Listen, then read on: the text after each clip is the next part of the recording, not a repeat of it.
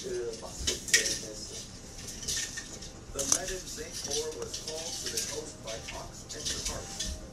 These men and their beasts of burden toiled in the baking Sardinian sun. From there, things only got tougher. We have hard rock, hard baking rock, rock that end up with rocky, rocky coastlines, cliffs, inaccessible